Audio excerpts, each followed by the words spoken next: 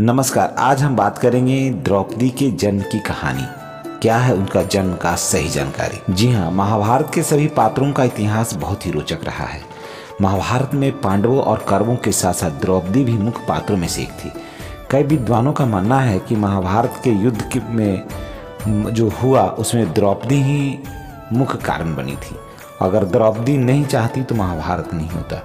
आइए जानते हैं इसकी पूरी कहानी। कहा जाता है कि महाभारत में बताया गया है कि पंचाल देश का जो राजा द्रुपद थे, वो उनको गुरुद्रोण से किसी बात को लेकर के अनबन हो तो उन्होंने अपमान का बदला लेने के लिए एक यज्ञ करवाया और इसी यज्ञ के हवन कुंड से, इस अग्नि से द्रौपदी प्रकट हुई। यज्ञ से उत्पन्न होने के कारण द्रौपदी को अग्निश्रेणी भी कहा जाता है। पंचाल देश की राजकुमारी होने के कारण इन द्रौपदी को पांचाली भी कहा जाता है। भगवान शिव से द्रौपदी को था वरदान और एक मैं बात बता दूँ कि द्रौपदी को लोग बहुत सी जगह ऐसे हैं, जहाँ हिंदुस्तान में द्रौपदी को माता काली का रूप में पूजा जाता है। जी हाँ वीडियो के अंत तक बने रहें और अगर चैनल पर नए हैं तो कृपया चैनल को सब्सक्राइब करें। और आप पर भगवान का आशीर्वाद बना रहेगा और चैनल को सब्सक्राइब करने के बाद बेल आइकन को अवश्य दबा देंगे। भगवान शिव ने यहाँ भगवान शिव से द्रौपदी थी।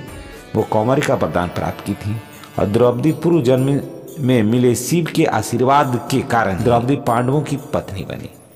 महाभारत के अनुसार जब कौरवों की भरी सभा में द्रौपदी को कौरवों ने उसे लज्जित करना चाहा, तब क्रोधी द्रौपदी ने कौरवों को समूल नाश का कसम खाई और उसने कह दिया कि तुम्हारा समूल नाश हो जाए। जी हाँ उसके बाद पूरे कौरव वंश का ही नाश हो गया। महाभारत के कर्नाटक, आंध्र प्रदेश और तमिलनाडु राज्यों के कुछ गाँवों में देवी द्रौपदी पूजनीय है। इन राज्यों के गाँवों में द्रौपदी को काली माँ का अवतार माना जाता है।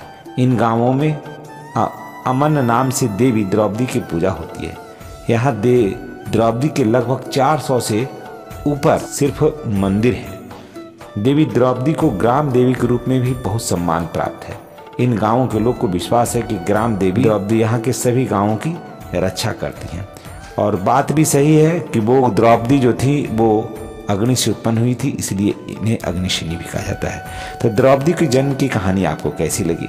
दोस्तों, कमेंट बॉक्स में अवश्य बताएँगे। इसी तरह के वीडियो को देखने के लिए आप हमारे चैनल पर बने रहें। धन्यवाद।